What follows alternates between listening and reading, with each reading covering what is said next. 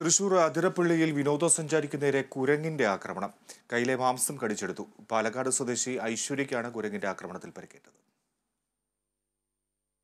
പാലക്കാട് നിന്നും അതിരപ്പിള്ളി വെള്ളച്ചാട്ടം കാണാൻ എത്തിയതായിരുന്നു സംഘം. ഇതിനിടെ വെള്ളച്ചാട്ടത്തിന് സമീപത്തെ കടയിൽ നിന്ന് ബിസ്ക്കറ്റും ഐസ്ക്രീമും ഉൾപ്പെടെ വാങ്ങിക്കഴിക്കുന്നതിനിടയിലായിരുന്നു ആക്രമണം. സമീപത്തു നിന്നും അപ്രതീക്ഷിതമായി ഓടിയെത്തിയ കുരങ്ങൻ കയ്യിൽ കടിക്കുകയായിരുന്നു. യുവതിയുടെ കൈത്തണ്ടയിലെ രണ്ടിടങ്ങളിലെ മാംസം കുരങ്ങൻ കടിച്ചെടുത്തു.